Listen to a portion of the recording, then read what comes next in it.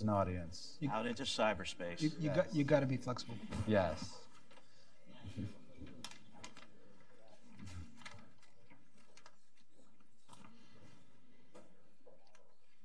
Ladies and gentlemen,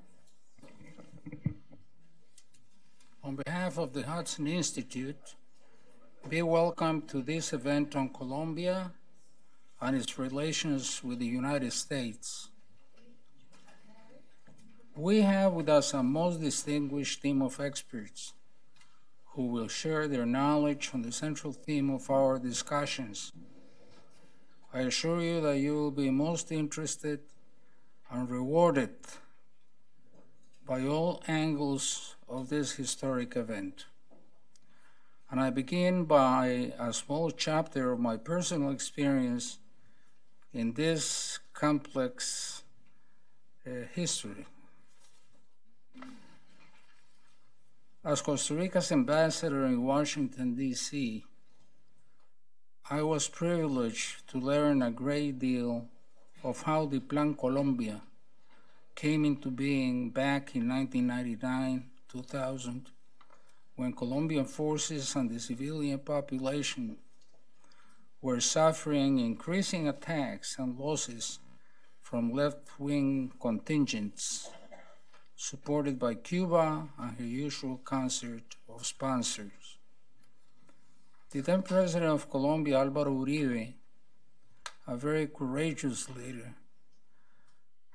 was able to obtain from Washington and leading Western democracies important support in this conflict that threatened a leading democracy. We all know the thread of this story and the victory obtained by President Uribe and above all, Colombia. Let me only add that we were honored by the visit of President Uribe years later here at Hudson.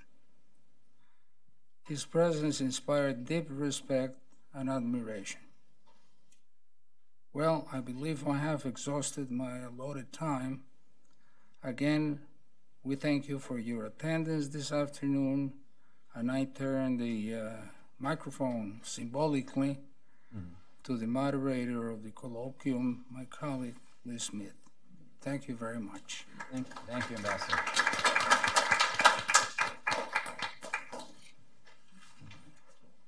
Thank you very kindly, Ambassador. And uh, I, uh, I repeat his thanks. Thank you for coming to Hudson Institute this afternoon. We have a really a phenomenal panel.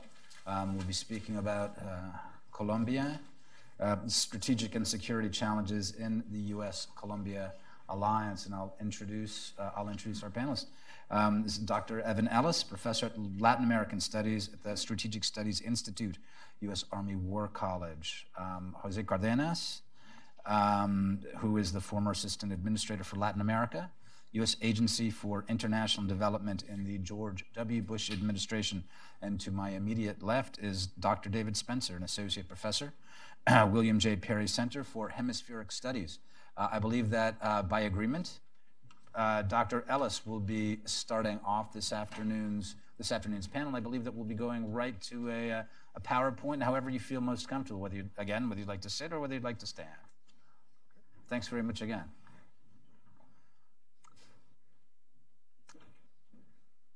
I always uh, like to explain that uh, when I stand up and present, I at least keep myself awake, but uh, hopefully we'll uh, be able to keep uh, you all engaged as well. I'd like to thank the Hudson Institute, uh, Ambassador Daremblum, and in the group uh, here for, for your time and interest in, in this topic, a very important uh, topic, both with respect to the um, you know, Colombia itself and its implications for the long relationship that we've had with, um, in, in the United States.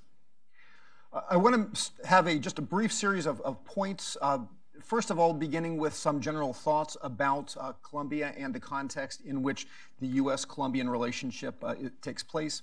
So I'm going to go relatively quickly so I leave time for the other speakers. First of all, important to understand the social and economic context uh, in which uh, what's happening in Colombia is playing out today. If you, if you go back to the post-World War II period and La Violencia, um, the, the deep hurt feelings with, with assassination of, of the, the, the liberals and, and, and, and, and others, um, coupled with a, a, long period really of what can be termed as, as rural neglect, a, a dichotomy that long existed in Colombia between the, relative sophistication and prosperity of, of the cities um, and a lack of attention, at least by the, by the government, to what was going on in the countryside. There are special cases that continue to have impacts today. One of them is, is the coastal strip, especially uh, from about Buenaventura in, in the middle of Colombia's Pacific coast uh, down to the border with Ecuador uh, uh near Tumaco. Um, other places like, the, of course, the, the Llanos, the, the, the eastern plains, which again long had a relatively minimal state presence. When we talk about the Colombian guerrilla groups, uh, the recently demobilized uh, FARC, as, as well as uh, as well as others, I think it's important to acknowledge that while the FARC started out with an ideological base, uh, its greatest expansion that one can say really began in 1982 when in the Seventh uh, FARC Congress it embraced uh, engagement with narco-terrorist and, and narcotics activity go- going on.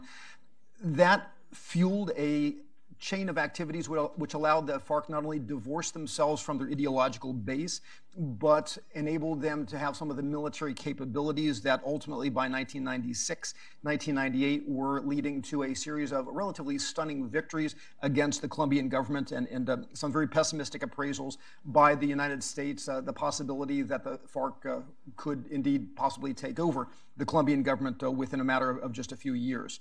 Of course, that was then, this is now. But when we talk about Plan Colombia, I think it's also important to recognize that the inception of Plan Colombia was based around uh, fighting the drug flows uh, that were seen as, as dramatically impacting and, and permeating Colombian society, Colombian government at, at all levels. But after our uh, 9 uh, 11 uh, here, here in the United States, and really with uh, President Uribe's arrival in, in 2002, um, the focus of the U.S. security engagement really made a subtle transition, not abandoning the fight against narco trafficking, but taking a, a much more explicit focus on also helping to do counter-terrorist activities than what it had been previously when we talk about the success of Colombia, I think it's important to recognize this idea that really what it's all been about is reconnecting the Colombian state with the Colombian people. Uh, one of the key things in the successes that have occurred thus with that process have been coordination. Coordination between the activities of the security forces in, in, in attacking and clearing out threats, uh, bringing in the police and others, bringing in the government's rebuilding faith between the population, uh, providing government services as, as, well as opportunities for people to participate in the legitimate economy, and how that has created a positive feedback cycle.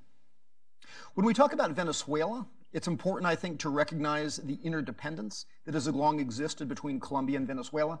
Um, as you can see from, from the map here, when you take a look especially at the, the border, the Colombia-Venezuela border, um, what you recognize is that there was long flows of, of people. Of course, uh, as is commonly known, uh, Nicolas Maduro was probably actually born in Colombia as a Colombian, technically making him illegitimate to, to be head of, of Venezuela today. But um, beyond that, uh, it is there were long flows of people. Oftentimes, when Venezuela was the more prosperous of, of the two, going to uh, going going to Venezuela in search of, of, of goods or, or work or, or, other things, um, and, so the fluidity that we find between the borders is, is something that has been a long-standing thing.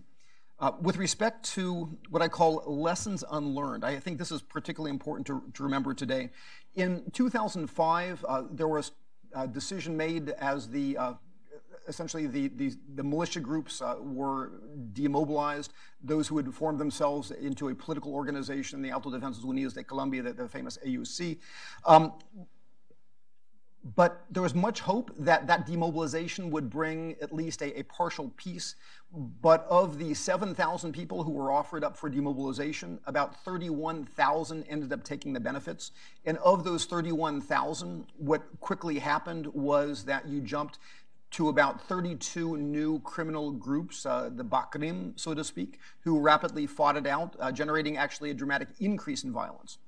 In 2016, Colombians, remembering the lessons of the distant past, looked to that 2005 2006 period and what came later and said um, the demobilization of about the same number of FARC guerrillas may end in a similar fashion. And it appears today that they were right. And so there continues to be the unlessoned, the lessons unlearned from demobilization gone bad and the way that it contributes to the morphing of the threat and criminality. A couple of things that I, I, wanted to comment with respect to the security challenges. And I will focus on what I believe are four groups of interdependent security challenges that the Colombian state faces. And the reason that I wanted to begin with those previous comments was to set the stage for some of the lessons which I think have been uh, really common um, and repeating factors uh, within, uh, within Colombia's history. So, number one, I would say, is the dramatic expansion of criminal revenue streams. I want to be clear that I'm not just talking about drugs here. Clearly, as has been pointed out, uh, coca production and re- by relation cocaine has taken off. It seemed that the Colombian government had made remarkable progress bringing down coca production to about uh, 40,000 hectares under, um, under cultivation. Uh, with the elimination of aerial spraying, glyphosate, um, but not just because of that, it has taken off uh, to an estimated 2009 or 2000, uh, 209, 210,000 hectares.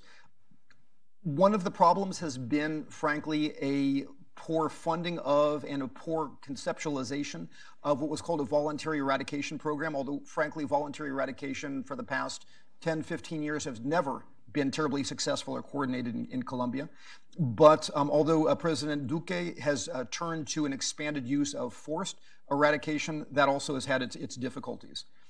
But again, I don't want to blame just uh, coca production because some of the other significant sources of, of revenue for criminal groups in Colombia when we talk about, for example, illegal mining, especially gold, uh, to a certain extent, uh, coltan as, as well, um, and other activities arguably produce just as much, if not more, money, depending on the price of, of minerals, than the drug flows do. Number two, in terms of challenges, is what I would call the fragmentation and restructuring rather than demobilization of criminal groups. And there are several different areas where the threat has been most acute. So you can take a look at the, for example, the, the south and the southwest of, of, Colombia, places like Putumayo, where that threat, which had always spilled over to Ecuador to some degree, has particularly been affecting Ecuador in, in recent months. Um, in the, the plains, uh, Guaviare and in other places in, in the Llanos, uh, and also as you move up towards the, the Venezuelan uh, Colombian border, uh, again, uh, places like Norte de Santander, and particularly uh, very troublesome areas such, such as Catatumbo, which are also fed by the lack of control of the Venezuelan state um, and the flows of thousands and thousands of refugees across that border. But as happened in 2005, what you're finding is the demobilization of the FARC, which at least was uh, theoretically completed uh, you know, only about a year ago, has led, uh, first of all, so the first and seventh fronts, or at least elements of them, um, the so to speak uh, FARC dissidents, uh, which were the groups most heavily involved in drug trafficking, never fully gave up. Uh, at the same time, the disaffection of others has caused other groups of FARC um, to flow back into those groups. And then, of course, you have the social support groups, the FARC militia, so to speak, partially operating in Venezuela, partially operating in, in Colombia. So that combination of the dissidents, the dissidents now working together to, to try to um, rebuild their strength, uh, dissatisfied FARC flowing back into those dissident groups, um, and those support bases and monetary bases in Venezuela has all combined to, in many ways, create a problem which was uh, as difficult or as grave or perhaps even graver than what you had just talking about the FARC before 2016. In addition to that, of course, you had those elements of the FARC who, um, even before the accords were put into place, began flowing and have continued to flow into the hands of the other uh, at least ideological terrorist uh, group in, in the country, the ELN, uh, a group which, uh, because of its combination of, of the use of, of, kidnapping, involvement in the illegal mining trade, and other things, continues to cause a great deal of problems. As we've seen through the relatively uh, brash attack against the General Santander uh, um, Police Cadet School in, in Bogota just a couple months ago. And of course, you have also the fragmentation, as we see in Mexico and in other places, of the criminal bands. There was a time when it seemed that there was a consolidation of many of those, I mentioned 32 fighting groups, down to uh, three or four, of which the, so to speak, um, the Urabeños um, or the Usuga clan or the Gulf clan, depending on who is politically not being offended by, by, by the name. Um, but like uh, Osama bin Laden in the United States, the, the Usuga clan really became enemy number one. And frankly, uh, the Colombian government has had relatively significant successes in targeting their leadership, both the financial leadership as, as well as the, uh, um, the, uh, the, other leadership, uh, to the point in which that group is beginning to degenerate into others. Uh, we can talk about uh, splinter groups like, like the Caparrapos, who, although they themselves have been successful, the very success that they have breaking off from the, the Usuga clan suggests how things are, are transforming. Um, and even to the point where, um, in a way never seen before, uh, Mexican representatives from groups like the Sinaloa cartel and, and uh, Jalisco Nueva Generacion and others are beginning to come into the country to try to figure out, well, just who do we work with now to get the cocaine and other drugs up from Colombia um, through Central America, through, through the Caribbean. Beyond that, I would also uh, talk about two final major groups of security challenges. Um, and I suspect we'll talk about this a lot more uh, during the question and answer as well, but Venezuela. It's difficult to underestimate the degree of damage that the situation in Venezuela is causing for Colombia. Um, just in terms of those who have stayed in Colombia, an estimated 1.2, but it may already be far higher than that, 1.2 million people have gone from Venezuela. Um, those who used to come across, especially Cucuta, um, and fled into the rest of the country to work for a couple of weeks, they're beginning to stay now.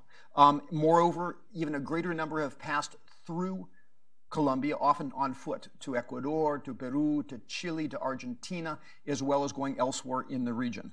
Um, and again, as I mentioned before, groups such as the ELN um, and some of the paramilitary groups such as the Pelusos, the, the, the EPL, et cetera, um, as you know, anytime you have thousands of desperate people coming through a, a, border, as is what is happening right now, those people become fodder for the criminal groups that operate there. And so it's not just a matter of, of Venezuelans putting a social strain on, on Colombia, but desperate Venezuelans looking for a way to feed their families, looking for a way just to hang on and survive a few new days. Um, in a highly corrupt, controlled border region in which you have multiple criminal groups fighting it out. It's just a recipe for disaster. And then finally, of course, uh, what I referred to before, the broader political panorama in Colombia. Dissatisfaction leading to violence. As one of my colleagues pointed out, um, if you like the FARC or not, the bottom line is the way that the accord has gone down, nobody is happy. Um, so on the one hand, of course, you have frustration that led President Duque to question the uh, agreements that were made and, and, the special jurisdiction for, for, for peace, um, whether essentially those people who, the Colombians are very proud, frankly, of their political system and their legal system. Granted, it's imperfect. However, um, for many Colombians, um, y mi esposa es Rola de Bogotá, mi esposa es colombiana. Um, so I, I, can tell you firsthand, um, you know, because my wife is, is also a Colombian, I've had the honor to work with many Colombians on both the business and other uh, realms over the years. The Colombians are very proud of their, their judicial system, however imperfect. And there was the sense that essentially terrorists who had flaunted the laws and who were almost beaten had basically been given a free pass for their activities. Um, then, of course, on the other side, there was expectations by the FARC that they were going to emerge into a great new political party. Um, now, that didn't work out so well. They won 0.34%, not 34%, 0.34% of the vote in the recent congressional election, showing the, the depth of their popularity. And so, thus, except for, for a period of, of, of two terms, the the temporary representation that they have in the Congress, um, there wasn't even a viable FARC presidential candidate. And so the FARC is looking at, on the one hand, no real route to political power. Uh, many of the things that were promised to them with respect to, to reforms, land and things like that, the money wasn't forthcoming for that. The money wasn't forthcoming for rural infrastructure. Some of their key leaders who had the bad decision to continue after the accords and their involvement in narco trafficking, like Jesus Santrich, um, have been again uh, have been uh, you know having serious action taken against them. And so, whether you were against the FARC or whether you had some degree of hope that they would turn into a social movement, everybody at this point is dis- dissatisfied. And so, to conclude. Um, just a couple of other issues that I think are uh, worth making um, note of. Number one is the future of the Colombian military. Um, frankly, the Colombian military is one of the most professional and capable in the region. Uh, they didn't have the victories that they have against the FARC for the, in, you know, the, the, past two decades for, for, for, for nothing. Um, they are an important exporter of security to our other partners in the region in Central America and elsewhere. Um, they're moving to a NATO standard and have been an important international partner in, in other ways. Um, they have a process that they refer to as transformation. Um, and there's a question of what does the role of the military, just like in the United States at the end of the Cold War, we wrestled with the transformation of our own military.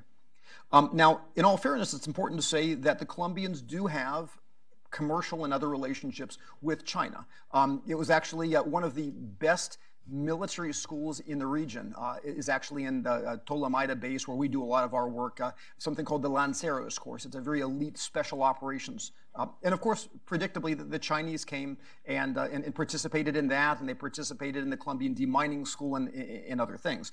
Um, the Chinese have provided uh, certain amounts of, of, military hardware. So, despite that very close relationship that the United States has had, um, there are still other relationships that the Colombians have.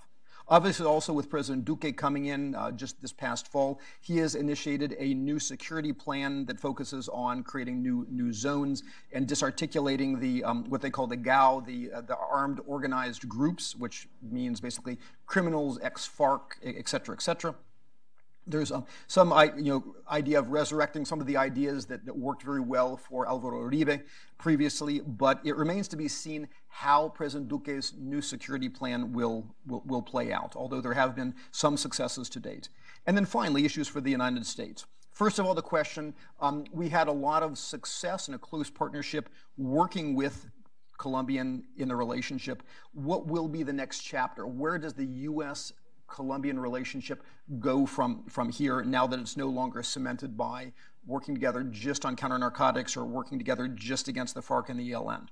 Number two, this idea of um, the way in which Colombian drug production, other criminal activity is destabilizing virtually the entire region. I mean, it's, it's, there's a synergy with Colombia and Venezuela. It's impacting the Caribbean. It's impacting um, the rest. And again, um, the degree to which um, the way things could unfold in Venezuela provides a very serious, serious challenge um, to Colombia. Now, at the very first slide, and I'll just end with this thought, um, one of the things that I, that I point out is that Colombia for me is what I call a partnership of success, myth, and family. And what I mean by that is that in many ways the way we think about Colombia, and I remember in 1996 when we were on the brink of decertifying Colombia because of the state's involvement with narco trafficking and how far they have come. But in many ways, we define much of the narrative in terms of the successes that Colombia has had with at least a little bit of U.S. help. In many ways, though, I say a myth because I think there's a lot of concepts that aren't quite accurate about why and how the Colombians succeeded and what the nature of, of the relationship is. And Finally, I say it's a partnership of family. And for those of you who remember, for example, when Southcom used to be in Panama and some of the other, we, the military and others, have defined ourselves by this relationship. And so, especially in Latin America, um, I hesitate to say there are, there are more Colombian military spouses than perhaps with any other country in, in, in Latin America. But beyond just those type of things, um, the relationship with Colombia, I think, is evidenced by this group here today, has really become a family affair, a family affair in terms of the bond of spilt blood working together over the years, as well as those other bonds of family. And so, uh, wherever it goes in the future, I, I think that family relationship, as you know, with all family relationships, you can get annoyed at the uncle over, over the, the years for his behavior at the party. But at the end of the day, family is still family, and I believe that is very much where we are with Colombia right now. Thank you very much. Thanks,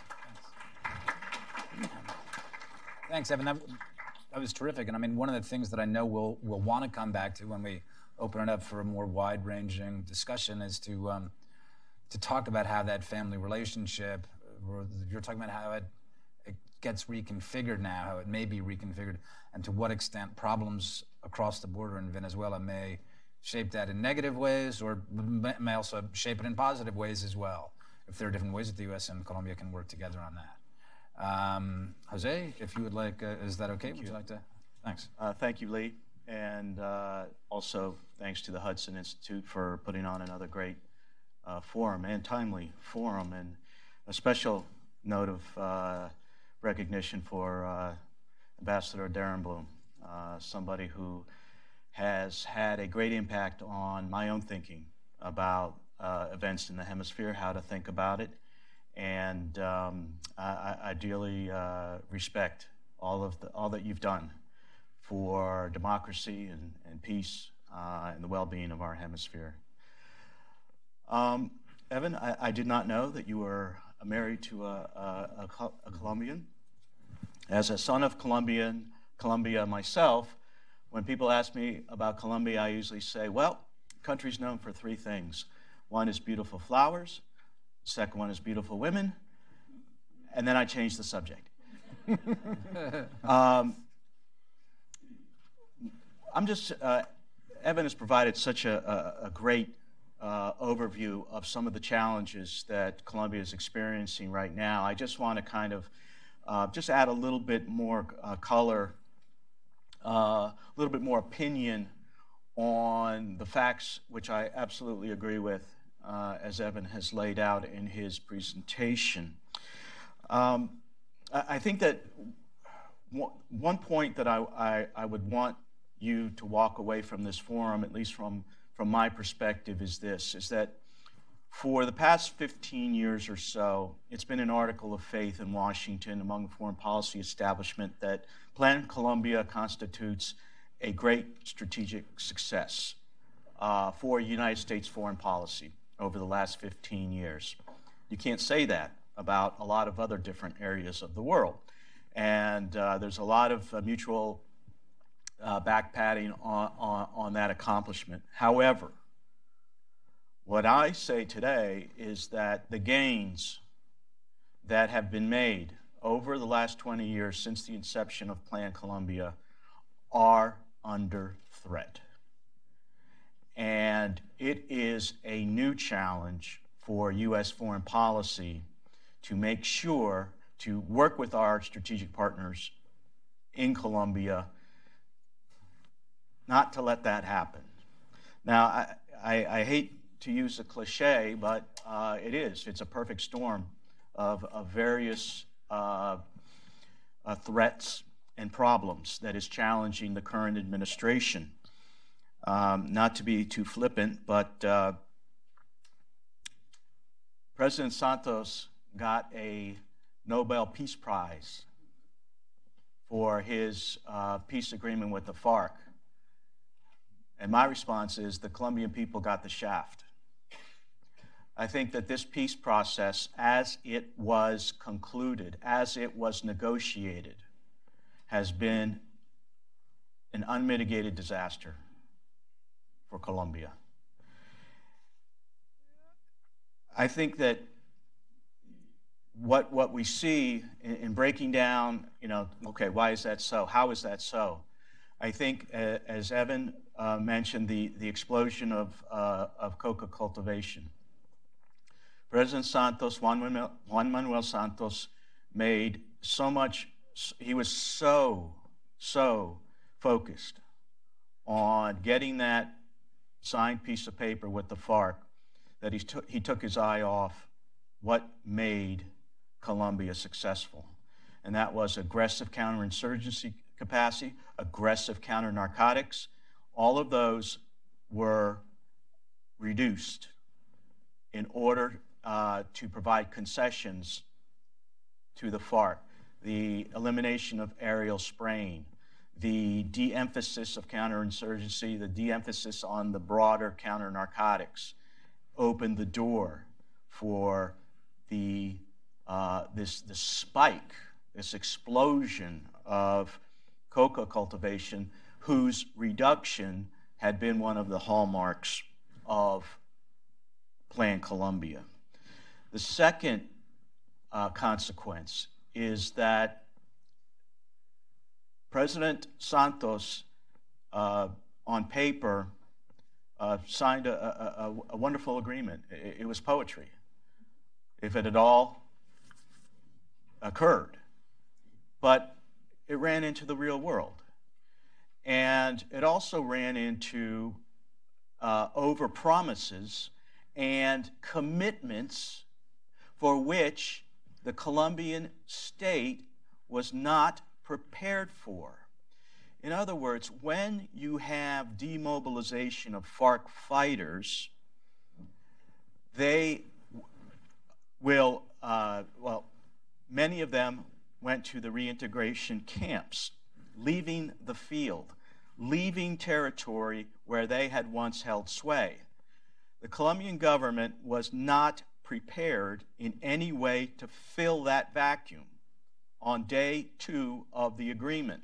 When the FARC starts leaving their, their areas of control, the Colombian state was not prepared to move in and establish governmental authority in those areas. So, what was the result? That vacuum was filled by simply more criminal organizations, different criminal organizations, some affiliated with the FARC, uh, some with uh, Mexican cartels.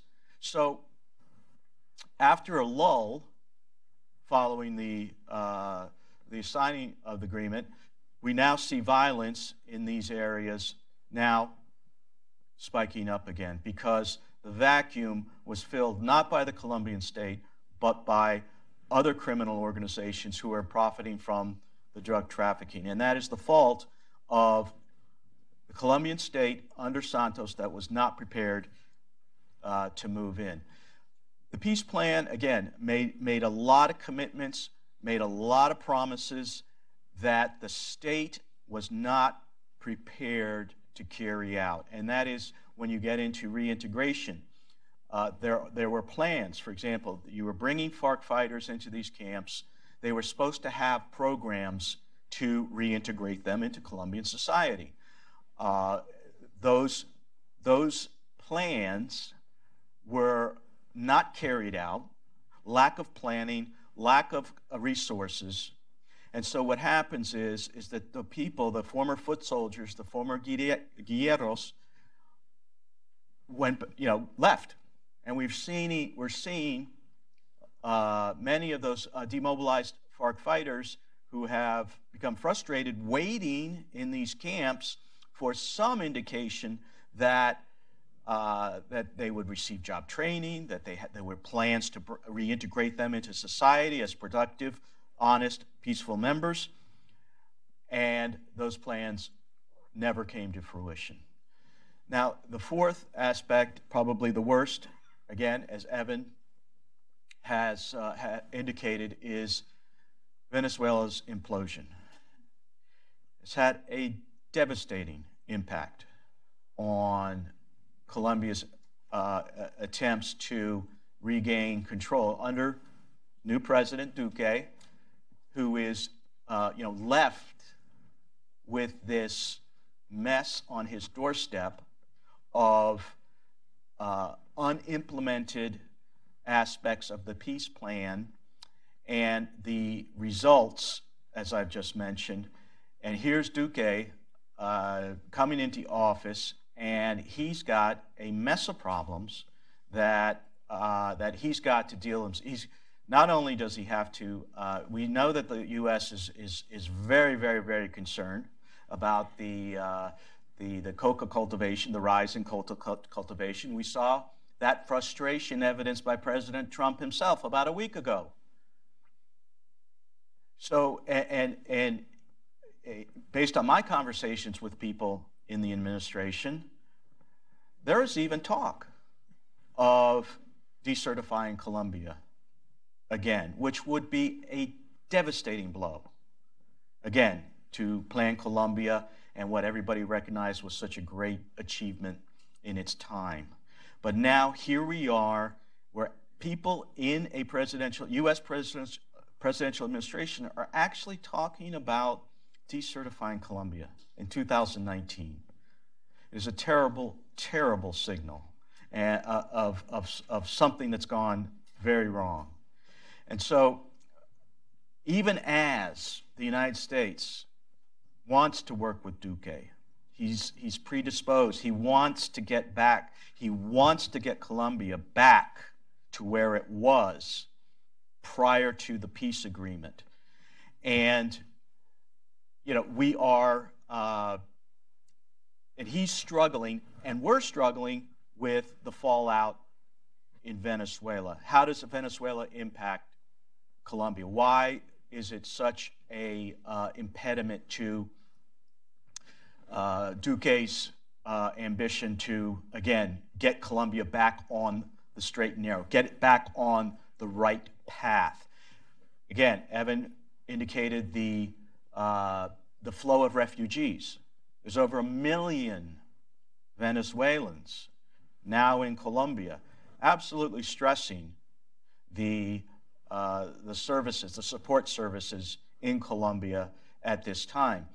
The second is that you know we know there's no there's no love lost between Colombia and uh, the Maduro government. It it started with Hugo Chavez. Uh, Colombia has always been a target of the, uh, the extreme left uh, in Latin America because of its strong partnership with the United States. Maduro has, even with all of the, all of the crises facing Maduro right now, he's got one eye on the domestic situation in his own country, he's got one eye on Colombia. Because he can, if, if Duque uh, is seen as being too much of a complication or uh, too, too aggressive a, a, political actor in pressuring for peaceful change in Venezuela, Maduro has assets to cause trouble, and that is the ELN and other criminal groups. The ELN has camps all throughout Venezuelan territory. Maduro can control the pressure on, on Duque with the snap of a finger with the ELN camps. The drug trafficking is coming through with the complicity of the Venezuelan military, is coming through uh, Venezuelan territory. So the, the two countries are not only geographically connected at the hip, but in this crisis are uh, connected as well. And there will be no resolution in Venezuela without a strong and secure Colombia as a partner with the United States, the Lima Group, the EU, if they, if they decide to, to be helpful, more helpful in, in Venezuela. So uh, it's, it's intimately connected to the situation in Venezuela. And, and that's another strategic reason why the United States has a, a seminal interest in helping President Duque, and because we got to get back to where we once were, and that is a relatively secure Colombia with uh, control of its territory and keeping the malefactors like the FARC, the ELN, and the drug traffickers in check. Thank you. Thanks, Jose. That was terrific. Um, one, uh, one of the questions, just taking notes here, the things that I definitely want to come back to later when we start speaking more openly, but what the situation is like that when a president uh, when a leader of a country inherits another, his, his predecessor's plan, and there was already unease over this, and now he actually has to deal with the reality. So that I, I think that's something that'll be really interesting. But before we move on, if I can just ask very quickly, what what at this point, decertifying Colombia, what would that entail? What would that mean? Well, it, it is uh, first and foremost the political uh-huh. signal it sends. Right and it is a uh, what it does is I hate to say it, but you know, for the last 20 years, the United States and Colombia, it, it has become an, a, uh, a part of the political landscape, mm-hmm. our alliance. Above all, any, alliance, any relationship in Latin America, you had the U.S. Colombia alliance. They help us in counter narcotics training in other countries. Mm-hmm. Uh, they, um, they are with us in uh, you know, pursuing the same regional security objectives. And here we are pinning a scarlet letter on their lapel. It's the psychological and the political symbol it sends around is, is devastating. David, if you would uh, you continue, thank you. Thanks very much. I'm, I'm not sure I have anything left to say, but I think my own fault for volunteering to go last. Um, but anyway, no, I will. So I will. Um, uh, I'll basically comment on some things that were said. I, I agree with uh, both my colleagues here. I think they did a really good job in kind of giving an overview. Um, I think one of the things that, that we need to understand, especially looking at the Duque government, besides the fact that it inherited this really messy uh, peace agreement, nobody's against peace. And I think that's, that's really important to say. Nobody's against peace as a concept or the idea of making peace with the FARC. I think people are against very messy aspects of this particular peace agreement, and it's really important to emphasize. But that's, I, will come back to that later. Um, president Duque is a minority president. Uh, you know, obviously, the majority of Colombians elected him, but in Congress, he has a minority. And so he, he ha- he's having a really hard time passing his program uh, from tax reform to uh, you know modifying the special jurisdiction for peace, the, the transitional peace agreement, to uh, you know getting spraying, uh, you know getting the Congress to approve spraying and then getting the court to approve it as well. So so he's in a really difficult position politically because he doesn't have a majority in Congress. Now his problem is that when he came in, he tried to be nice to everybody. He tried to he tried to convince people with his very, you know, he, he's a very logical guy. I, I knew him when he was here at the Inter-American Development Bank. He'd come over to the Perry Center and work with us. He's, he's one of the smartest guys I know. He's, he's, he's like a genius. He's also an extremely moral person, and so he would try to persuade people to, you know, to accept his points of view. And of course, that doesn't work very well in politics. And while he was doing that, he was, he was, he was not convincing the opposition, but he was also angering the people that voted voted him into power because he was kind of compromising on things that he'd, he'd promised. And so his poll numbers went way down. I think they got into the low 20s at one point. Um, and ironically, I think the Venezuela situation has kind of saved him. He's gone back up in the polls because of his leadership with the Venezuela position. So I think it's really important when you're analyzing Colombia to understand the political difficulties that, that President Duque um, is facing, and that and that makes all the difference um, in terms of his ability to be an effective uh, president. I think the second thing that that is important to understand is that he inherited a really bad economic situation. So, you know, a lot of the a lot of the progress that was that was made, and a lot of the the good news that was coming out of Colombia between, let's say, 2006 to 2000, say 15, approximately, was because of a, of a really robust uh, economy. Um, a growth in oil production and, and the oil international oil prices, which were very, very high. Um, and right and and towards the latter half of the the um, Santos administration, uh, two things happened. Number one, oil prices went way down, and number two, oil reserves um, are running out in Colombia, and are I think they're predicted to be over, but it'd be essentially out of oil. Um, I don't remember the. I'm not an economist, so I don't remember the exact date, but pretty soon. And, and one of the problems is that, that there is more oil in Colombia, but to do oil exploration, you need the price of oil to be at a certain level. I think it's like $60 a barrel to break even. And, and for a long time, uh, that wasn't the case. And, and so a price that was below uh, the price of making oil exploration profitable, and then, of course, oil takes about five years. Once you've found a deposit, you, you know, the build infrastructure to begin uh, exploiting the oil takes about five years. So he's in this really bad kind of economic lull at the same time that he inherited this really complicated situation. So you have to have some sympathy for them. He, they're, they're in a very, very difficult um, situation. They've been handed a really big bag of lemons, and it's not clear that they can make lemonade out of those lemons. Um, another point, so so I so I've written an article that's in Prism magazine, published by the National Defense University. You can go online and get it.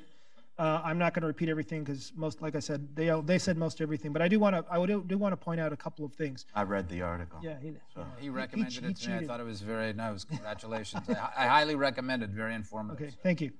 Um, but so one of the questions I have, and, and, and it really bothers me when people talk about FARC dissidents, because I'm not so sure that they're really dissidents. You know, I'm not really sure that this fragmentation of these groups has, has, take, has taken place.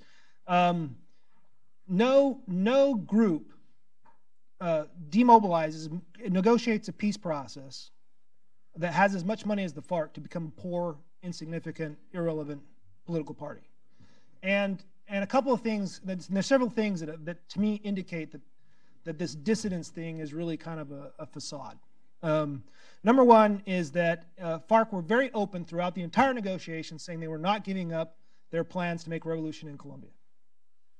Right? They were negotiating into the conflict, but not their plans to make a revolution. They were very open about it. I mean, and it was stunning, you know, how how open they were and how Benodi paid attention to it. And when I when I um, I was working uh, in the Pentagon at the time. I was on loan to the Pentagon for about five years um, during the last part of the this this period with the FARC or the official period with the FARC, and um, and I kept on pointing out these guys are saying that they're trying to continue revolution. I said, "Oh, Dave, that you know that's just rhetoric. They're just saying that stuff to because you know they have to," and and and that bothered me because I've been studying FARC for a long time. I've been studying FARC since for about 25 years and and and and FARC are very bureaucratic, have always been very bureaucratic, and they write down what they say. And when they write something, they mean it. I mean, they they angst over what they write. And so if they write something, that's that's not propaganda. That's especially if they write it for an internal audience. That's what they mean. And and FARC uh, since 1982 has has developed a strategic plan. They've they held they hold conferences. They're very old-fashioned communist party. They have these strategic level conferences where they where they uh, where they put out their strategy or they modify their strategy, and and and every year you would see FARC fronts. I, I used to work a lot with the military and, and look at the, the capture documents they got.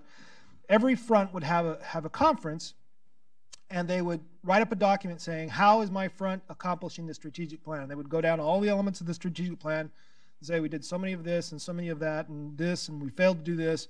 and our plan for next year is to is to do you know is to is to follow the plan and so they're very very conscious and disciplined about following the plan and so if farc writes something they mean it and and and that's something that that, that people dismiss all the time and we always get caught flat-footed by dismissing that they mean what they write um, so going back to the farc dissidents um, a couple of things happened with the FARC dissidents that were, were, very interesting. Number one is the head of the main group of FARC dissidents um, in the eastern plains is a guy named Gentil Duarte. And Gentil Duarte was a member of the, the, the, the, the team that negotiated peace in Havana. And he came back from Havana and he declared himself a dissident and said he wasn't going to demobilize that that's unprecedented in the FARC. I, I just never seen that. That kind of indiscipline, especially by someone that's been in the FARC that long, that just doesn't happen, right? And a couple of things with him that happened that, that, make me also doubt that he really is a dissident is so FARC had to, as part of the peace process, they had to declare their assets, right? And so they made a declaration of their assets. And, and, and one, of the, one of the sentences was, oh, and by the way, 60% of our assets uh, were taken over by the dissidents. So, oops, que pena, we, we, don't, we don't have them. Well, in my studies of FARC over the last 25 years, if you stole 10,000 pesos, which is about $3, they would kill you.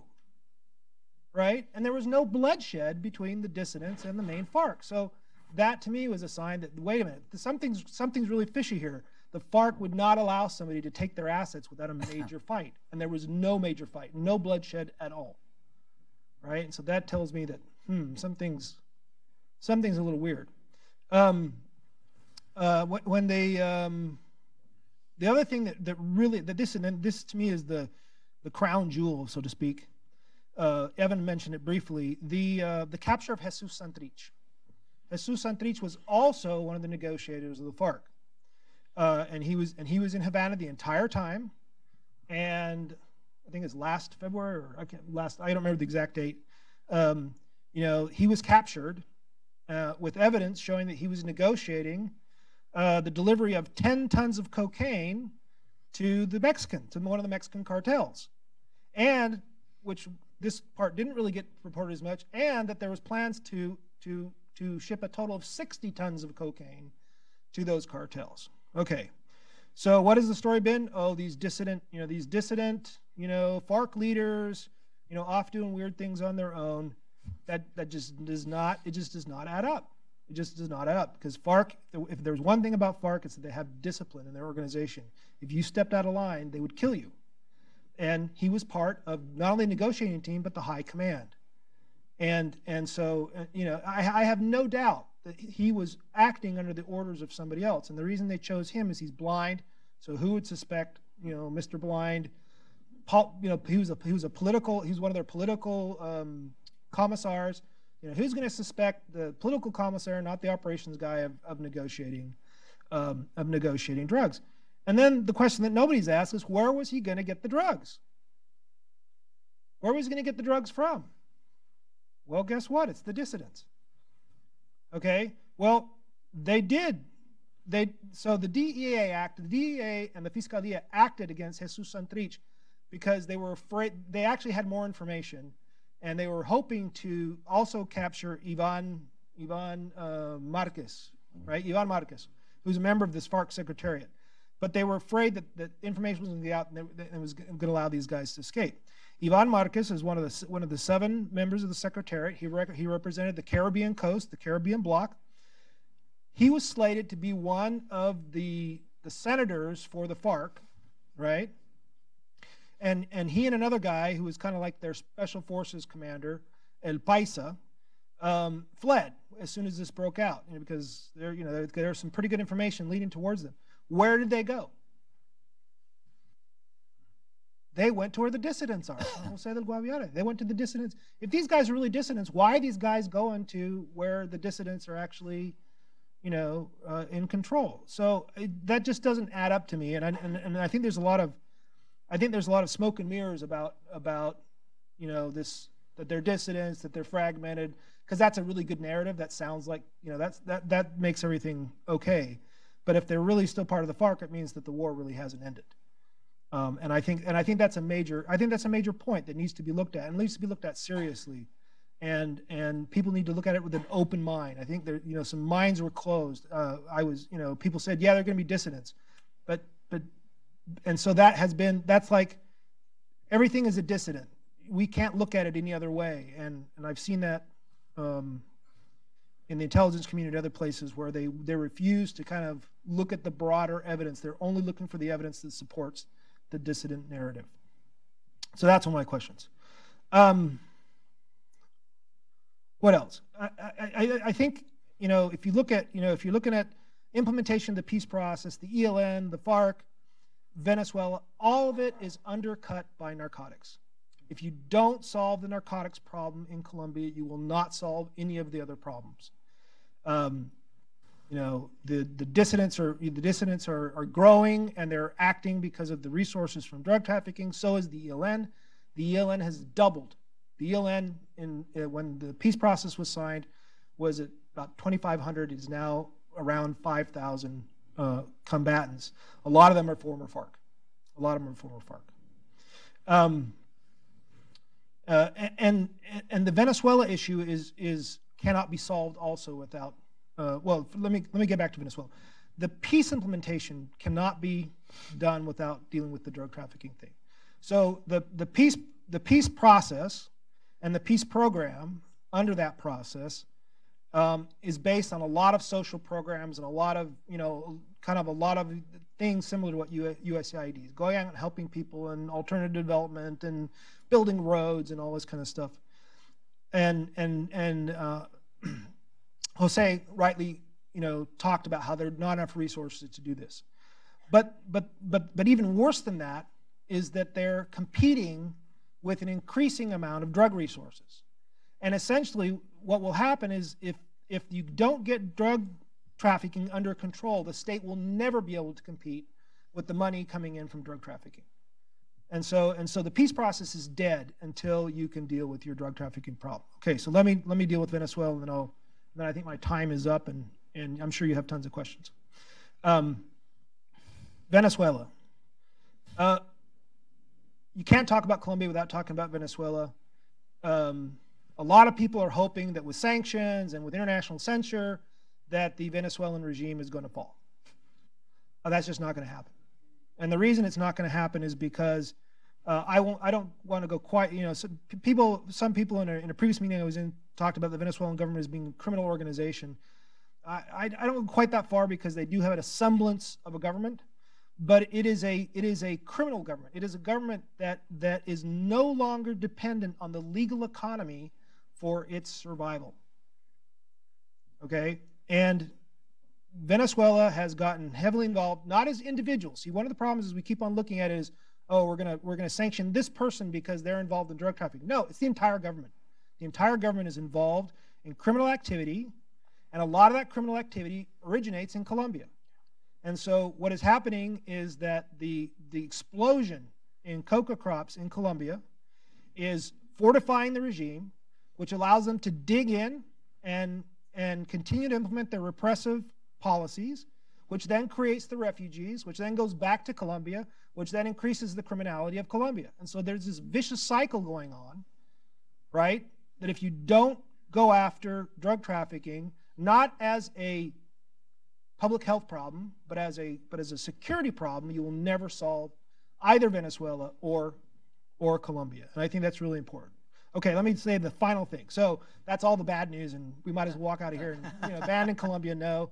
So um, the uh, National Security Advisor of Colombia uh, invited me to come and talk to him, uh, and he and he explained Colombia's new strategy.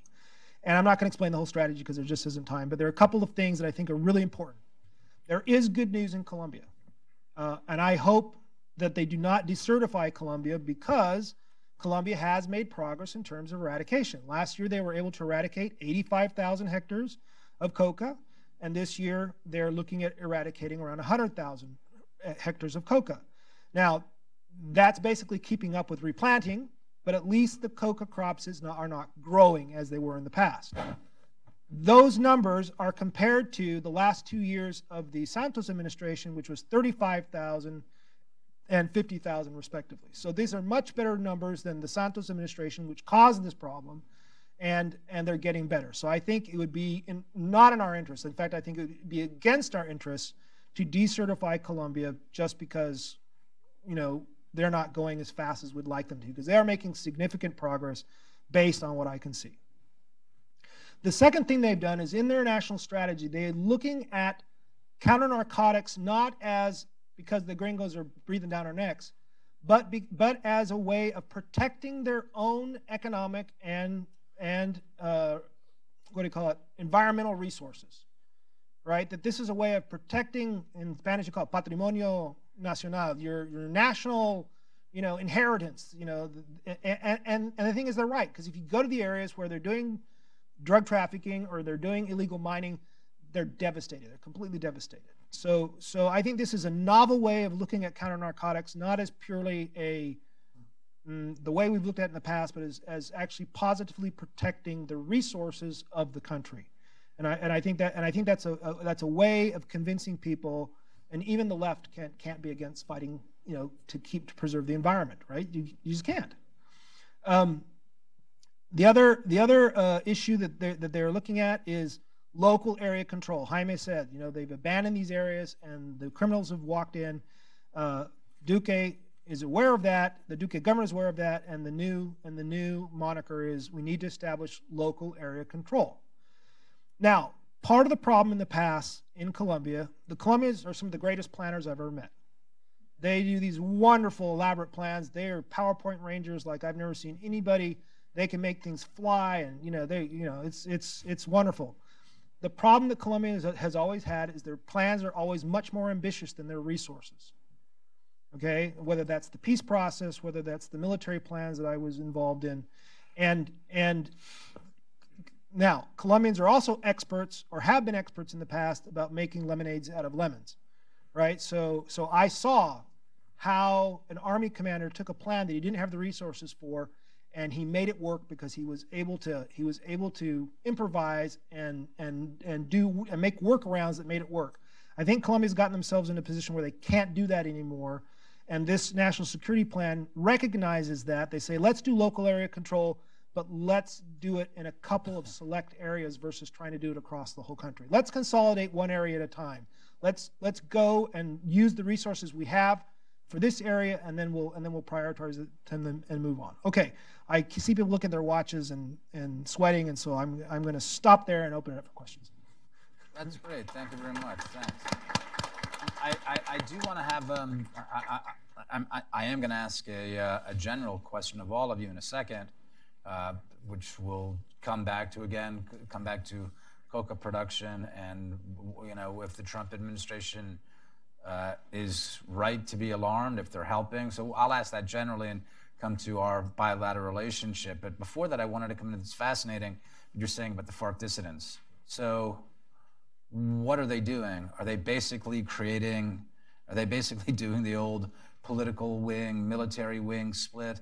The war will be continued, but through something that is now called the FARC dissidents? And, or what's happening? Is it, is it an effort to get more, to be able to get money to continue the war?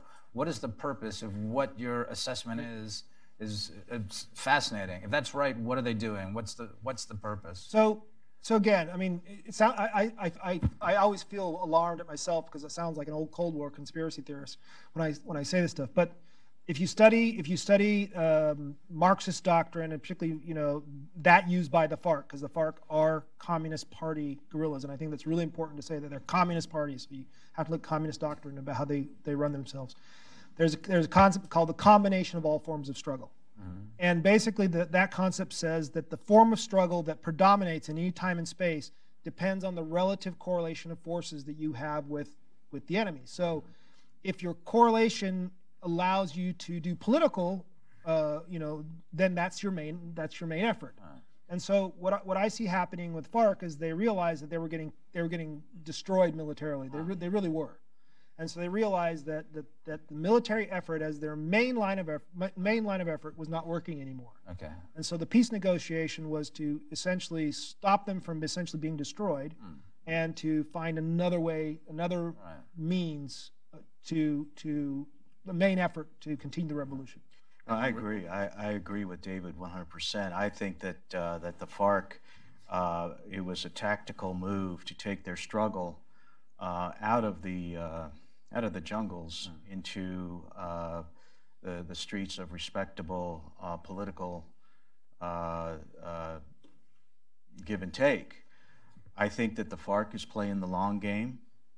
I think that the FARC is what its ultimate goal is political power in Colombia. And this was a tactical move. This whole peace process play with Santos was a tactical move to launder their image and begin a so called uh, legitimate uh, new struggle as a political party. Always holding in reserve tremendous amount of cash that is probably squirreled all over the world in bank accounts that is simply going to fund, as with the continuance of uh, the, uh, the dissident FARC, to fund, for all intents and purposes, what appears to be a, a legitimate political movement. And, and, and I really do believe that that is the long game of the FARC. Evan, I, if I can just start, I, I want you to go on, but if I can just start, so, but you were saying before that they got 0.34% of the vote. So, what is their what is their political end game if they can't? I'm, at, they're communist. We've established this, but what is their end game? And so, Well, since I'm, I'm sitting on the leftmost uh, group of the seats here, um, let me first start by saying that I, I think I'm about in 90% of agreement with, with what David and, and Jose are saying. Um, I, believe that the FARC had a group of concepts of how to survive. I'm, I think it might be a little bit too uh, giving the FARC too much credit to say that this was all some sort of master plan that they had in mind all along, and they're executing it just according to the plan. I, I think, I certainly think that the FARC are surviving very well by adaptation. And you know, so number one, I, I think there is a combination of again the FARC support groups. You know, so the militias versus the regular FARC, the distribution of, of who is in Venezuela, who is not in Venezuela, um, the relationship, and I think David makes a very compelling point. Uh, some of the actions of Santrich, some of the actions of, of, of others showing that there were clear relationships and things that didn't make sense by, by presuming a, a total uh, division. Um, I entirely agree that um, you know there's no necessarily absolute division between FARC dissidents and non-dissidents. Um, but having said that, again, I, I, think we probably do ourselves a disservice to say that this was a master plan. I, mean, I think the FARC, as and other groups, may have been kidding themselves to think that they had more popularity than they did, and I think it was a very unpleasant surprise for them to discover with, with their beautiful, you know, new uh, moniker, also that goes by the name FARC with its big red roses and all of that, that they had such a abysmally low percentage, and, again, that they didn't even bother to have a credible, you know, presidential candidate, et cetera. So so I think at this point, um, if the FARC had hopes of pursuing a political route and other routes, the political route for the moment seems clearly closed. Um, I think if the FARC had hopes of being able to continue below the table certain gray area um, narco trafficking activities, I think the moving against Santrich and others show that that might not be as viable option. And so I think they're being pushed increasingly more into the consolidation. I thought, I think also I was glad that uh, David mentioned Gentil Duarte, and, and, I think he is one of the key figures because, as you know, right now, whether it was this is all a master plot or whether this is being improvised as you go along, you know, working with, um, you know, even Mordisco, the, the first front, uh, Duarte, and in, in, the seventh front, some of some of the others in in various other parts. There is a process of trying to either re-coordinate or, or finally admitting that they're re-coordinating. Um, clearly also there was some coordination. Not only did, as Dave pointed out, that the ELN has doubled in size and uh, whether that was planned or just improvised, you know, clearly the, the ELN with a complementary strategy has benefited from that. And so you now have, you know, multiple different groups. And part of that benefit also comes from being reinforced by the, the Venezuelans coming across the border. And it become, it, it's also reinforced by the explosion of, of drug production. Um, so I see the FARC as improvising at this point, but I see that process of improvisation in conjunction with the explosion of money, in conjunction with the lack of control in, in, Venezuela, which, which basically feeds them, as is really, frankly, creating a situation which destabilizes and creates a, a, an almost impossible situation for, for President Duque. I, mean, I don't see them as improvising, but I think implementation is messy right? So, I mean, FARC has always planned bigger than they've been capable of doing. That's always been the case. But it doesn't mean they don't plan and that they don't try to follow the plan. But their plans don't always work out the way they planned them. That's probably the good news, right? Yeah, I think we agree. Well, let me ask something, um, and Jose, let me start with you, if I may, on this. so we have the, you know, we have the president's, we have the president's message uh, expressing frustration, if not disappointment, with President Duque. What is your sense of what people are actually saying in the administration about Colombia? Do they understand? Do they have a, do they have a pretty good understanding of what's going on? And so, what? Yeah. So, what, what is it? What are they saying? I'm not sure why that why they why the president came out and said that Duque had promised and he didn't follow his promise because at least the numbers I got show that they did, you know, they did do what they said they were going to do. Now, did it impact how much drugs is coming to this country? Probably not. Probably not that much because I mean there's still a ton of a ton of right. you know coca coming out, and not only that, but but they're you know they're increasing in quality and and they can produce more cocaine per hectare than they were before. So you know there's some significant challenges out there. But in terms of in terms of what the Colombians promised they would do, uh, they have. But I mean maybe also it's a misunderstanding of you know, like I said, Duque, Duque has a hard time. He's he's he's a minority president. I wouldn't call him a lame duck president, but he's a, he's a minority president who's fighting against the tide, and and he may not have been able to deliver like on spraying like he wanted to because right. because politically he's not being allowed. Jose, do you? Uh... Yes, um, uh, you, you know, we we're still getting to, used to a, a president that uh, doesn't operate with a filter. Um, some people like that. Uh, sometimes it it can it can cause uh, a bit of a ruckus, but it is reflective of a concern, broad-based concern within the administration. Um, I think that the meltdown in Venezuela mm. has uh, consumed a tremendous amount of time and effort of the administration and those offices and departments and agencies that are uh, entrusted with Western Hemisphere affairs. It's when the White House uh, makes a, an issue like Venezuela uh, such a priority. It, it, tends to sort of tax the bureaucracy. It's not that the United States government isn't developed enough or flexible enough to walk and chew gum at the same time.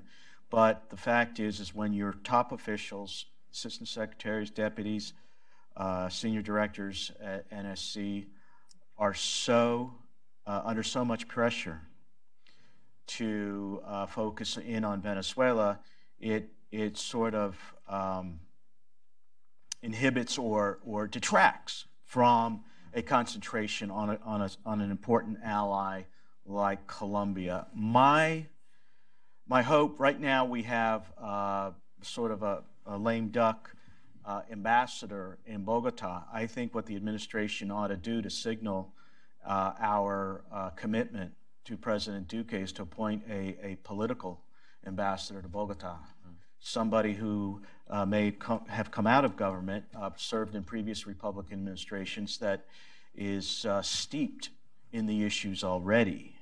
And I think that, that a political ambassador in Bogota could, you know, with no disrespect to the, the career Foreign Service, Dan, uh, that, I think that a political ambassador in Bogota would be a, a, a good uh, step at this time. Can I ask you, so, so how how have people in, in Colombia, how has the government responded to uh, not just the president's statement, President Trump's statement, but have they responded generally to U.S.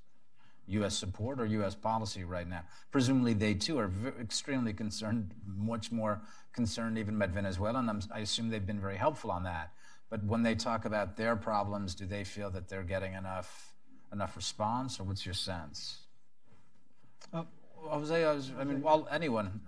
yeah, well, from having worked with the, the Colombians, uh, we have a very, very close relationship with the Colombians. I mean, I think our our ability to talk what they say in Spanish, tú a tú, you know, you to you, with the Colombians is better than any other country in the region. I mean, we can we can sit there and tell each other our mm. dirty laundry, and we're still friends at the at the end of the day, and and so that that still exists. Uh-huh. I mean, of course, it hurts them, right? Uh, uh, uh, you know, but I mean, I think I think one of the things about being that close is that um, you learn to forgive each other quick, and you learn that not everything that comes out is is really the way that the government feels. It may, you know, may be a temporary thing, but uh, I, you know, there's of course there's concern. Of course, you know, of course that hurts. To to, I mean, last year they threatened to to decertify Colombia. Uh, you know, so this isn't something that's new, and you know, and our relationship continues. But but yeah, of course it hurts. I would add. Uh, briefly, you know, the Colombian people aren't uh, exactly uh, in, overly enthusiastic about the uh, the peace agreement uh, to begin with, and if they see a, somebody else upset about it too, meaning hmm. the U.S. government, um, it's you know among uh, you know people on the street, you know, it's probably more of a you know, yeah, we knew, we know, that's, you're that's, telling us. That's interesting. So that that there are people who would read it that way, like yeah, read, the read President Trump saying like, yeah, we know. So exactly. Um, but the other thing that, that um, to add to what David said is uh, Colombia still enjoys a, a, a, strong bipartisan consensus on Capitol Hill. And what you saw um, after the president's comment was support for Colombia mm-hmm. uh, among key members of Congress like Marco Rubio. Mm-hmm. And, and so that uh, that core up there, and it's bipartisan, uh, is, is hugely important. And uh, because as we uh, seek to uh, get the get Colombia, the U.S.-Colombia relationship and maintain and, and, and, help them get back on the right track, um, we need to have Congress there too. And, and so that's, that's an important uh, aspect of this relationship. I'm going, to, open it up after you, but please go ahead. And I'm, to that, I'm going to open up a few questions for the audience. To me, um, I'd say Colombia is very concerned with the U.S. relationship, and I think those, that concern has metamorphosized through phases. So in 2016, 2017, when we were in the you know, passage, repassage, implementation of the peace accords, the question was, what comes next? Um, the relatively generous amounts of, of money that had come in from the U.S. under Plan Colombia uh, were at the end of the Obama administration, of course. E- e- even then, you know, there were there were signs of, of this being ramped down, and, and, and that question continues. Uh, obviously, there's a question also of what is the future of Colombia's relationship with the U.S. more broadly throughout the region. So, frankly, the Colombians have done a lot of help even beyond Colombia, Venezuela, with our other activities. There's something, for example, called the Colombia Action Plan. Uh, you know, the Colombians taking taking advantage of their their very professional armed forces, intelligence, other other capabilities. Obviously, uh, um, you know, Spanish fluency, helping us to, to train and, improve the capabilities of, other partners in the region. And there's a lot of that that, goes on. Um, and of course, it wasn't by coincidence that when uh, the Secretary General of NATO just, you know, just, just, just came in, um, it didn't escape mention that Colombia, of course, is the only uh, basically international associate of NATO in, in, in, in this hemisphere.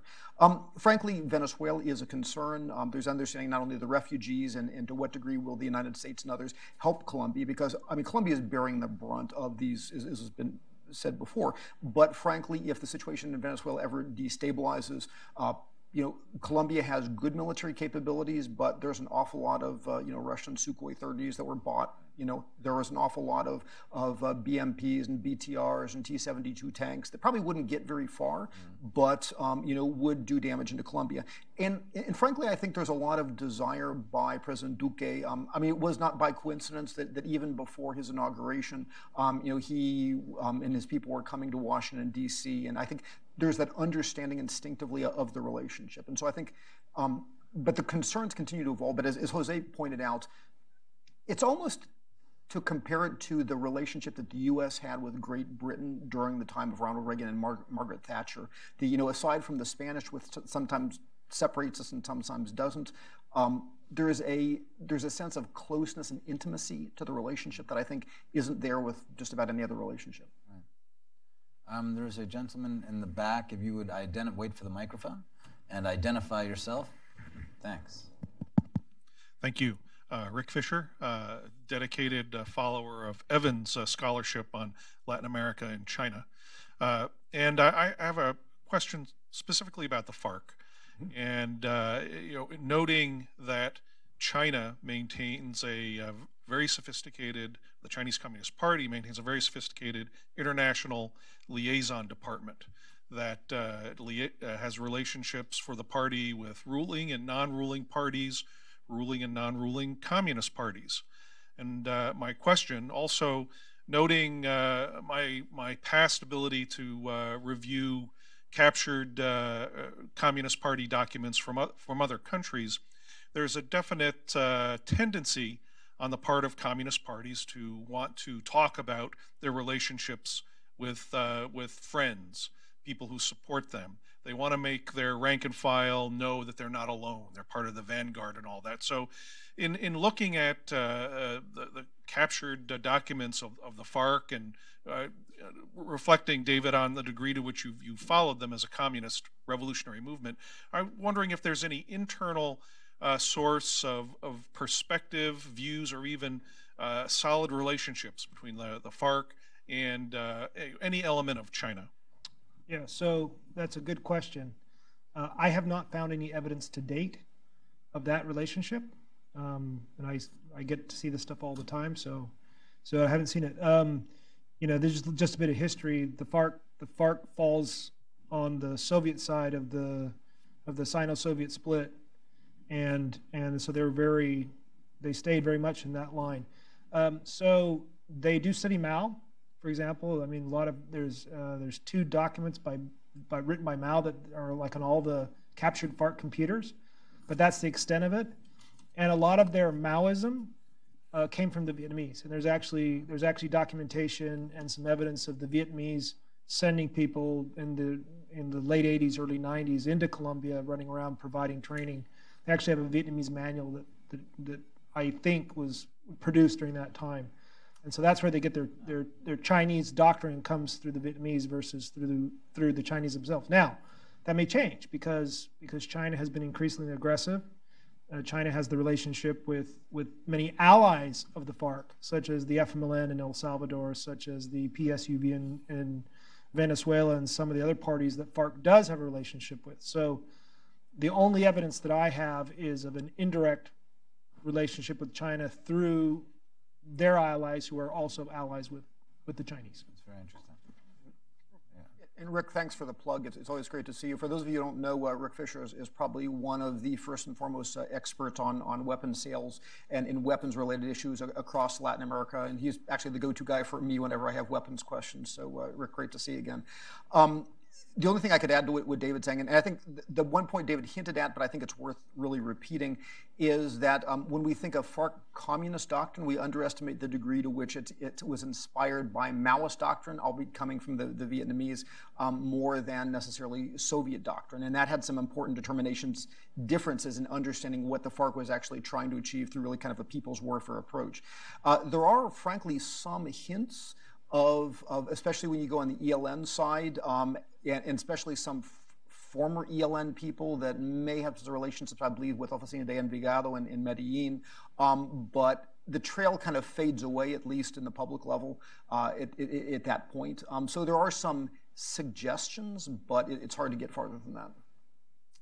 Uh, are there other, uh, this, again, if you can identify yourself and wait for the microphone. Hi, my name is Julia Friedman. I'm um, interning right now at the Colombia program on the Washington Office on Latin America. Um, and I was wondering if we could talk a little bit more about um, the interest in eradicating coca as a means to peace in Colombia and Venezuela, which I think is definitely a laudable goal. But I'm wondering about the strategy of crop fumigation.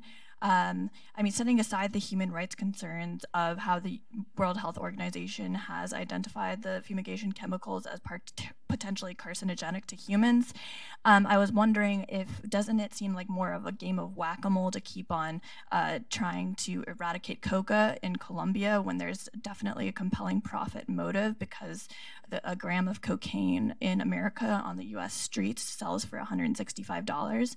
So don't you think it would be like a, a little bit more more of um, a targeted use and a better use of U.S. resources uh, to partner with the Colombians, not only in er eradicating drug markets and drug smuggling in Colombia, but also uh, trying to reduce the demand here. Does anyone want to answer so that? I, am happy to answer that. You've asked yeah. that. You've asked. You've asked one of the questions that continually gets asked. So there's a couple of things. Um, me personally, I've never been interested in eradicating coca as a matter of, you know, again, if there's demand, there's going to be supply. Someone's going to supply it. But it's really a matter of security.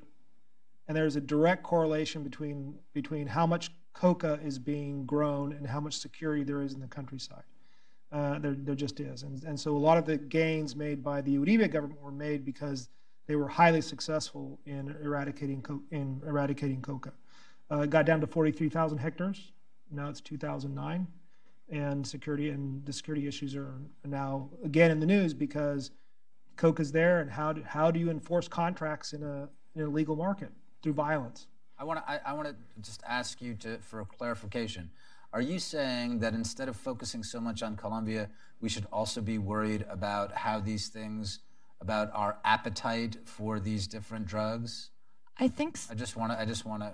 Yeah, I think when we're looking at uh, trying to enact a pol- help people enact a policy abroad, we should also be focusing not only on our domestic concerns because as to make ourselves more of a partner for Colombia, um, but also because the rural security situation that we're all very concerned about uh, tends to be exacerbated by attempts to eradicate coca by force. Um, so, like, what we're looking at a huge increase in human rights defenders being assassinated in rural areas. Uh, they are currently the population that's most under threat in Colombia, um, and the coca eradication and coca substitution activists are among the people who are uh, the most targeted in this population. So I think um, in order to uh, show Colombia that we, uh, on a good faith on the U.S. part, is that we would be, uh, and, and, it's a better use of our resources here, is to start looking at how we can reduce the demand for cocaine use in the United States. So, so the second half to the question I didn't that I didn't finish ask, answering was that coca sub coca, coca substitution is far more expensive than coca spray. So uh, right now, the substitution program, if it was being done as it's supposed to be done, would cost around five to seven billion dollars. and coca and coca spraying was sixty-five million Right. dollars. I, I, I understand and that. And then the other thing, and then the final thing, is there's no sticks. There's all carrots and no sticks with the current substitution program, and so there's no incentive not to grow coca.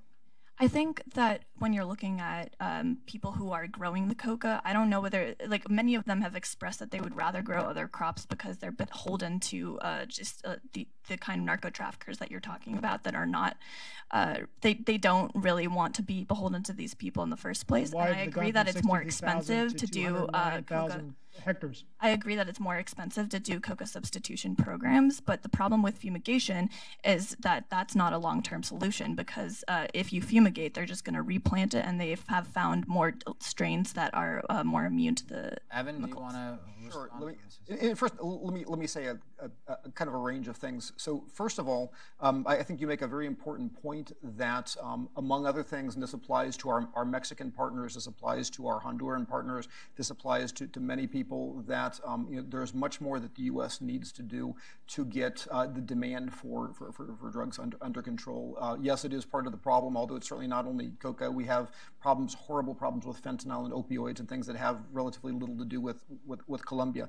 But I, I think it is important to recognize that this is a problem that we need to continue to combat. And, also, I recognize that uh, although I'm about to respectfully disagree with you on a couple of points, um, I do very much, in a free and open society, very different than the one we have in places like Venezuela, it's important that there's a range of, of views and, and the, questioning of the prevailing wisdom always goes on. And so I, I applaud the work of, of in that, in, in that regard. And I think, again, that's what separates us from, say, Nicolas Maduro.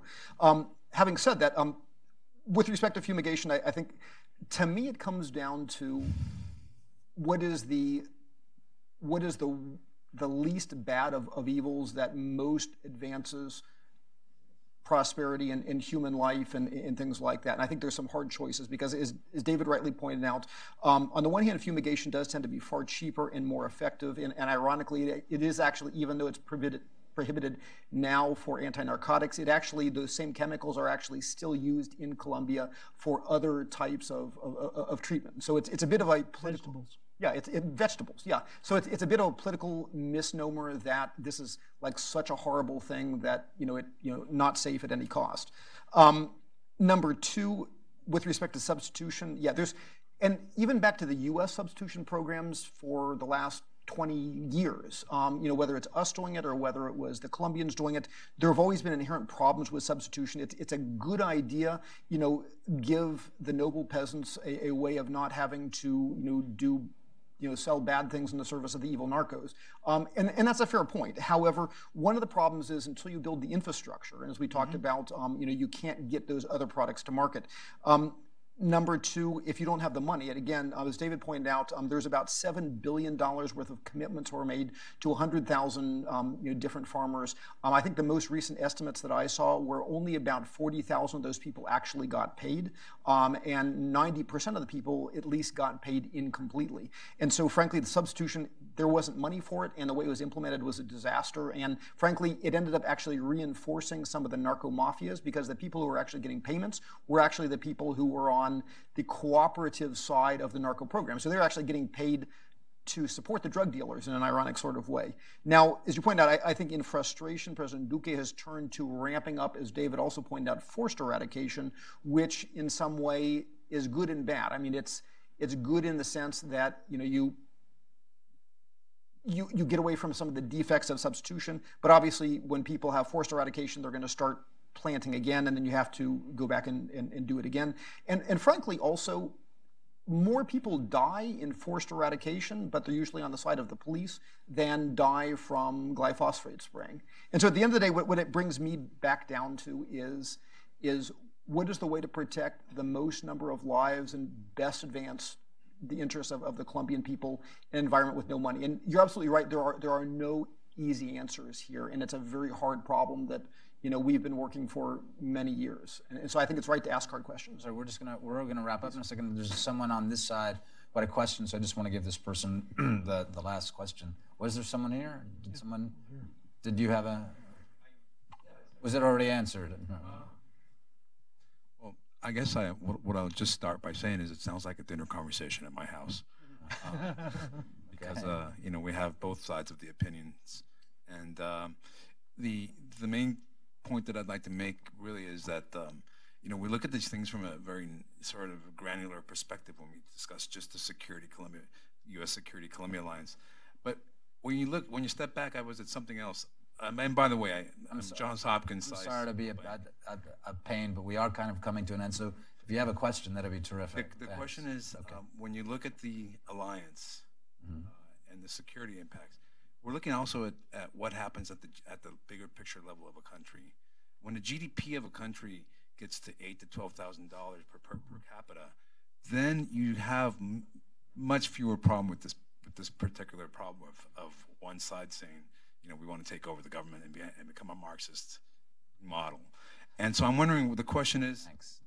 where are we with with regard to that in terms of like looking at it from that perspective are we advancing at all in terms of like how are we going to educate the people that really need to rise up in the economy that's my question I, I think that President President Uribe said it best that you know they used to look at it as well we need to solve the social problem first and then violence will take care of itself. But what they found is that that when they did that they just kept feeding the violence. That they really needed the security that the security actually helped then bring in investors and then bring in business and that it created this virtuous cycle of, of security and so and you know so you know it's, it's it's a question which comes first and and i think in colombia at least that um, moving towards the security side and and and especially democratic security where they were trying to provide security for everybody not just not just bogota or not just you know not just the big cities that that had a huge impact on their economy. And their economy grew tremendously between was it 2003 and 2000 2010 um, and and I think they've lost a bit of that, and I think uh, they need to recover it. Just very quickly, I, I think that the historical uh, Achilles heel of Colombia has been the inability to uh, have sustainable government control over the entire territory of the country. It's a very difficult country topo- top, topographically, uh, uh, from jungles to, to split by uh, Andean peaks. Um, it has been very difficult to establish that kind of security through the entire swath of the country. And because of circumstances, demand for uh, recreational drugs in the United States, it has uh, exacerbated uh, Colombia's destiny. And, um, and, I think that until Colombia is in a place where government authority uh, is established throughout the, uh, the entire, you know, every single kilometer of, of ter- square kilometer of territory. Um, Colombia is going to continue to have challenges. Two quick points. Um, number one, never underestimate the education and sophistication of, of the Colombian people. Um, these are intractable problems, and the fact that the Colombians are still suffering from them is not for lack of education or lack of, of, of sophistication. Number two, with respect to, to, your point, to me, the key is coordination. Um, there's lots of talk about interagency, whole of government, blah, blah, blah to me, and I mean, you've got Plan Salvador Seguro by the former Salvadorian president. To me, what separates the success from the failure isn't whether you sprinkle social programs or what mix, but it's how well you make it all work together. And I think through things like, um, you know, um, some of the successes the Colombians had was very activist, capable presidents, especially President Uribe, um, working the problems of, of making sure that you get that coordination right between you know, clearing out the threats, bringing in the authorities, um, actually creating a situation where people are inspired to invest, making investment possible with compatible tax regimes, things like that. You know, the key is getting it all working together in unison. And, and I think that takes intelligence and persistence and, and leadership, frankly. That's great. Evan, thank you very much. Jose, David, and thank you to Hudson Institute and uh, Ambassador Daremblum. Thank you for a wonderful afternoon. Thank you.